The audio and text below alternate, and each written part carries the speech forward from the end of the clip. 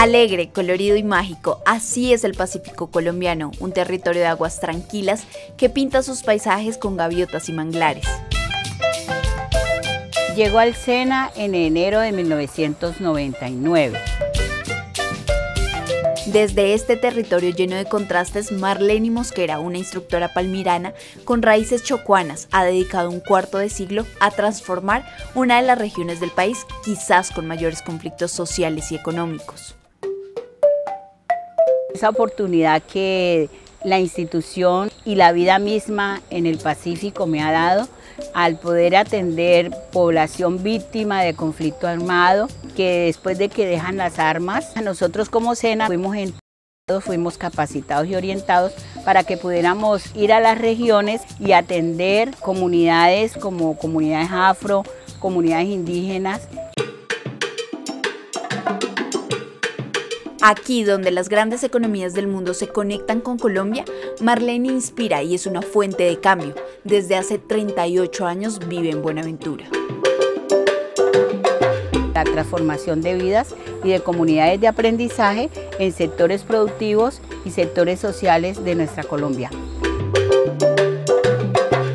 Este puerto es un territorio resiliente, lleno de realidades donde hilar saberes representa una oportunidad. Para esta administradora financiera y hoy formadora de instructores, el cambio inicia con aprendizajes básicos como la lectura y la escritura. Apoyar a los sectores eh, empresariales y productivos de Buenaventura, igual a los sectores sociales, en todo lo que significaba su formación y su desarrollo para mejorar la parte productiva en estas comunidades.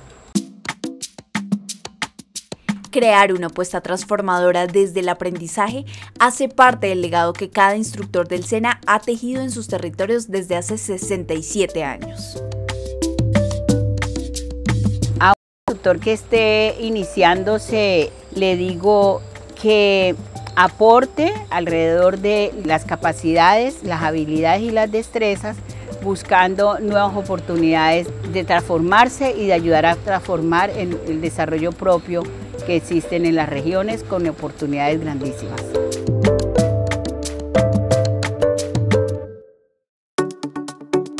Primer encuentro intergeneracional, la experiencia y la innovación en el marco de la formación profesional integral SENA.